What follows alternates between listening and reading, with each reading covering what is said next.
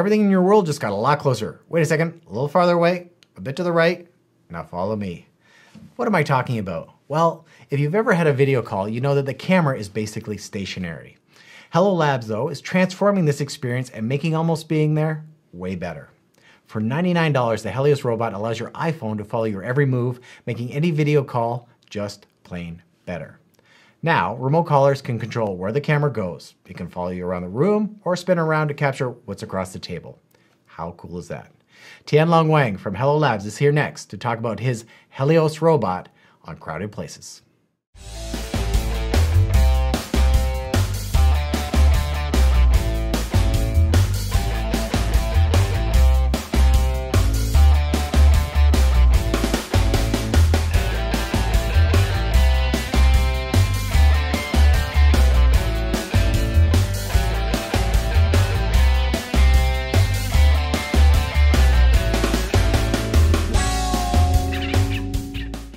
Hello, everyone, and thanks for watching Crowded Places, the web show that highlights crowdfunded projects and the people behind them. As always, I'm Curtis Hollister. Joining me today is Tianlong Wang from Hello Labs. Tian, welcome to the show. Nice to join you in today's show. Okay, Tian, your company is uh, recreating the video call experience effectively, making it better with your robot assistant Helios. What is this thing, and what does it do exactly? Okay, so basically, Helios is it turns your iPhone into a telepresence robot. So what it does is you put your iPhone there, and the people display on the screen can control the robot to move around while doing a video chat with people on the local end. So it basically creates a virtual presence of the people displayed on the screen which is kind of a cool thing from the point of view of anyone that's ever done like a, a video conference call with somebody. You know they move out of they move around you lose them out of camera etc this creates kind of a new experience from the point of view of the person can pan around the room. Is that what we're is that what the capabilities are? Yeah, exactly. Um, what it does is to um, is for, for people on the other side to control the camera view to turn around and to move around effectively change the angle. I mean, it's a very unique idea, and it seems like you, you, know what's funny about it is that it seems like it's a natural thing that you should have already. Uh, it's funny that uh, you guys are the one of the first ones to to do something like this. So to that point, um, you've got a very slick design. It looks very simple, very easy to use. What was the rationale behind the design, and maybe you could highlight some of the elements people should know about um, with the functionality and features. Um, so basically, I got this idea of having a moving video chat um, in a video conference where people working remotely and they use Skype to join the meeting. Um, I mean, sometimes people on the other side need to interrupt the conversation and say uh, stop, and then ask someone in the conference room to turn the camera for them. So I want to be something that um, so that people can control their own views and maybe move around as if they're actually in the conference room. The design rationale is to um, create something that that is sort of um, a virtual presence of you, and also you can put it on tabletop. And more importantly, I want to make it affordable to everyone. I mean, telepresence is sort of the, the idea the idea behind this, and it's been out there for like ten years, but people like uh, normal consumers can st- uh, still have not uh, got any access to it because it's kind of expensive. So uh, my rationale is to use the iPhone as the brain and to build kind of a wheels to the iPhone so that it's kind of um, the hardware is very cheap as um, so um, yeah, I mean, it, it, looks it looks like a very cool thing. I think for a lot of people, like um, it it really does change the experience. Now, one of the things that you talk about in your video, which I think is very very groovy, is you're you're um, actually including an SDK, um, so that people can do unique things with this kind of this, these remote capabilities. You know uh, possibly adding it onto like you know a, a flying quadcopter or like a, uh, the flying cameras, etc.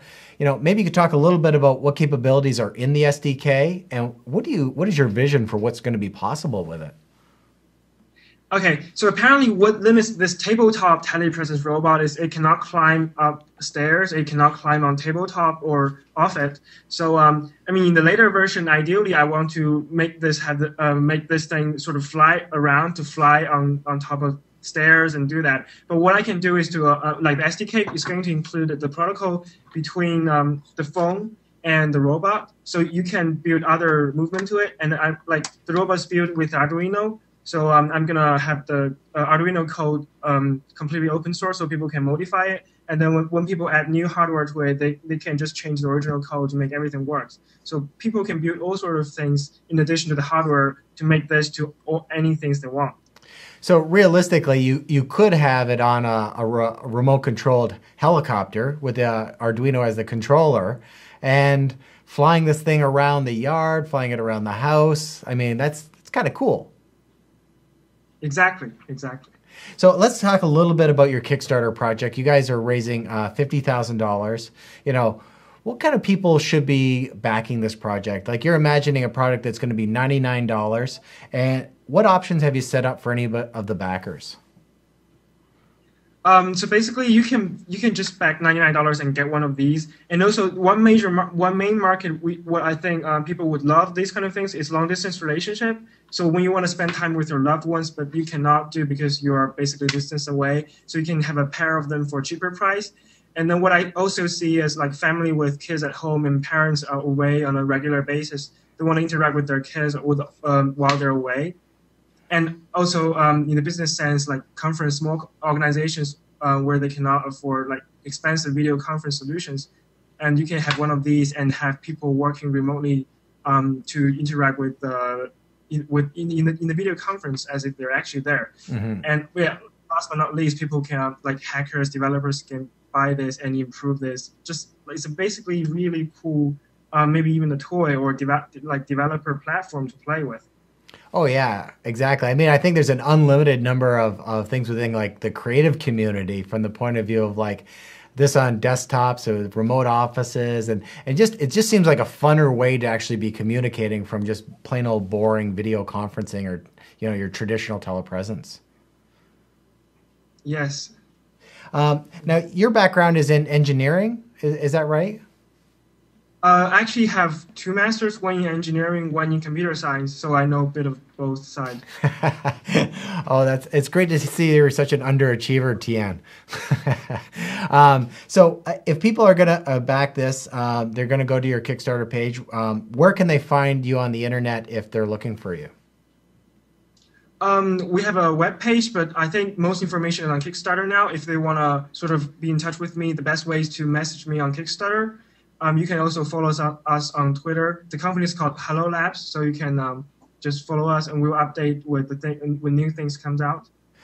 Well, I think this is a really cool thing. I'm someone that uses a lot of video conferencing, and I, I, think it's just like something that makes it a lot funner and a lot more useful in a lot of ways. Tian, thanks so much for creating this project, and best of luck of, on making it a commercial success. Thanks, Curtis.